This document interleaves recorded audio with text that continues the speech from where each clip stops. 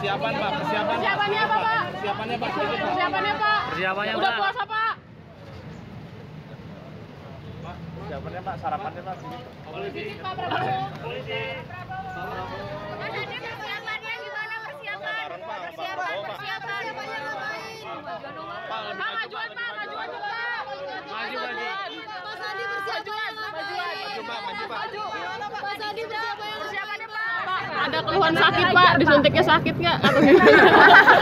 Lancar ya semuanya Pak. Saya, saya mantan tentara yang takut dokter. Terutama takut suntik saya. Lebih baik suruh terjun aja.